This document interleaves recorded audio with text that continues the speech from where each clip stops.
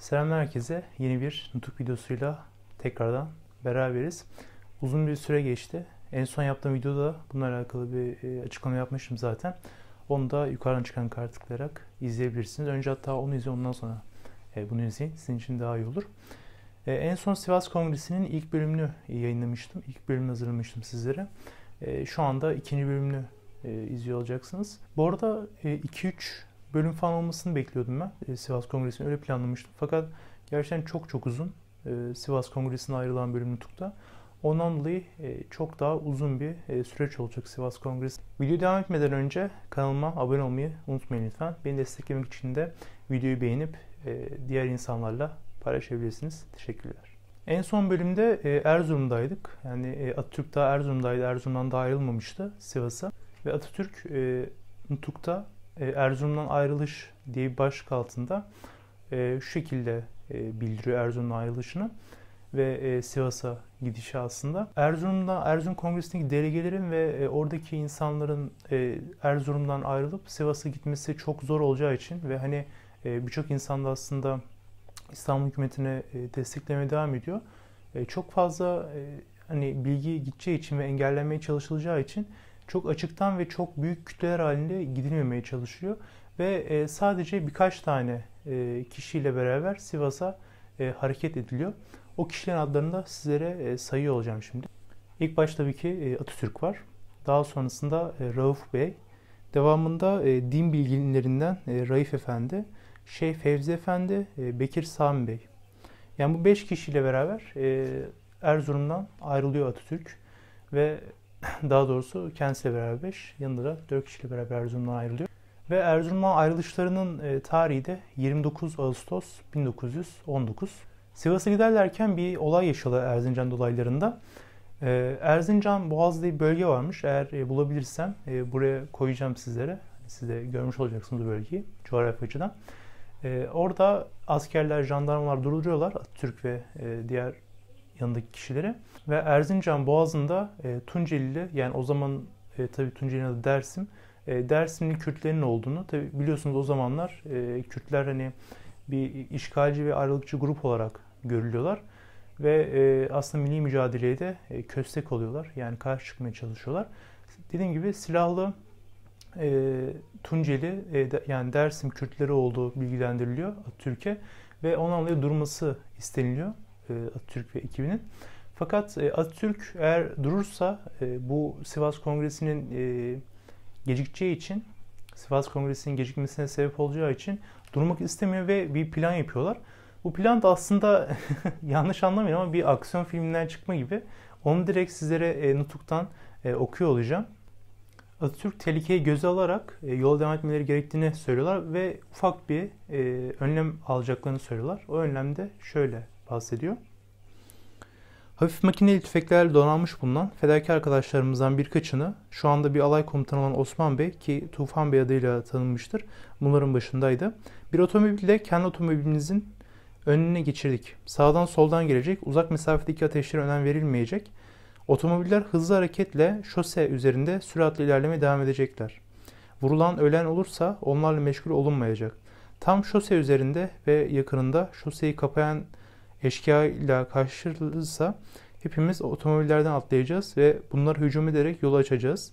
Kalanlar tekrar kullanılabilir durumdaki otomobillere binerek hızlı uzaklaşarak yola devam edecekler. İşte verilen emirler de buydu. Atatürk'ün aklında her zaman Sivas Kongresi'ni e, planlanan tarihte başlatmak vardı. Ondan dolayı e, bu denli aslında çok da akılcı olmayan bir e, plana yönelmiş bulunuyor. Ve aslında hiçbir şekilde Kürtlere karşılaşmadan, Kürtlerle çarpışmadan yoldan devam edip geçiyorlar Erzincan Boğazı'ndan.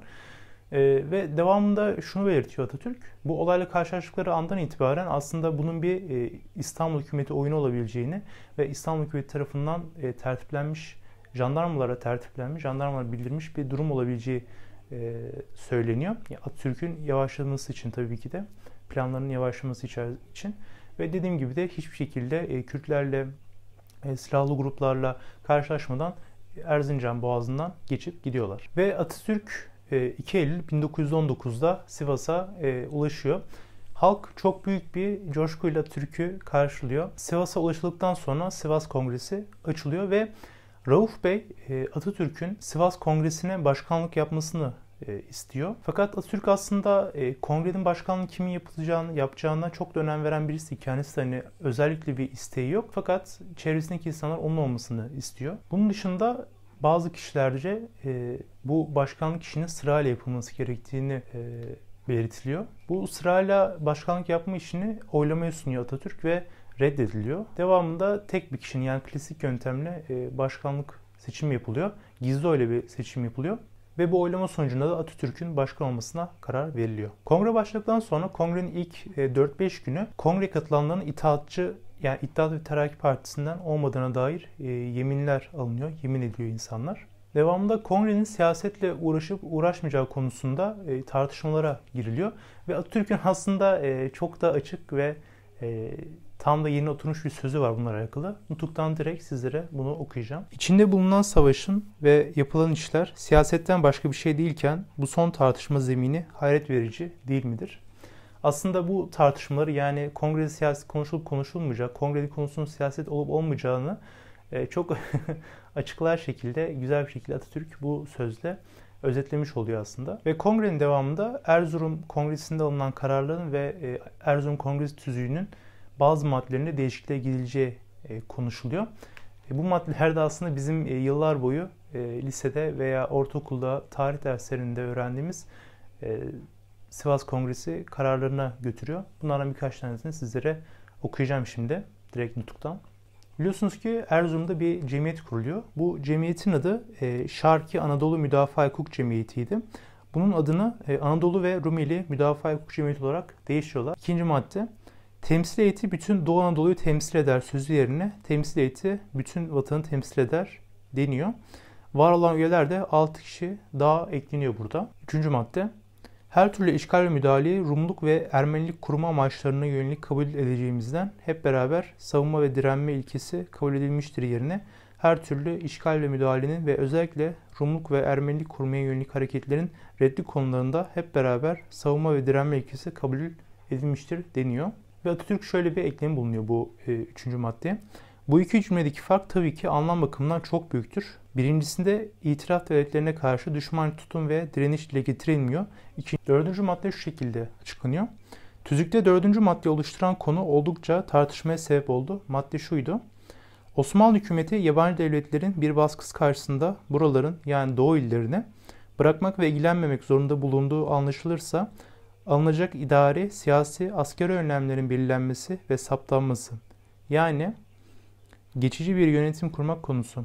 Sivas Kongresi tüzüğünde bu madde 2 buraları yerine ülkemizin herhangi bir parçasını bırakmak ve ilgilenmemek şeklinde kapsamlı ve genel bir kayıt konuldu. Evet bu bölümde konuşacağımız konular bu kadardı. Bu videolar için gerçekten çok fazla uğraşıyorum. Ondan dolayı lütfen e, kanalıma abone olup videoda beğeniniz. Ve eşinizle, dostunuzla, arkadaşlarınızla da lütfen videoyu paylaşınız. Daha fazla insanlar görsün, daha fazla insanlar yararlansın bu videolardan. Nutuk serisinin hepsini e, üzerinde çıkan playliste veya yanında çıkan playliste tıklayarak izleyebilirsiniz. Kanalıma da dediğim gibi abone olmayı unutmayın lütfen. O zaman başka video görüşmek üzere. Bay bay.